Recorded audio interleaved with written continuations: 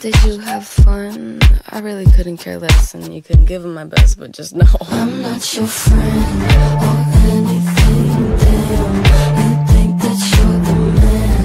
I think therefore I am. I'm not your friend or anything, damn. You think that you're the man.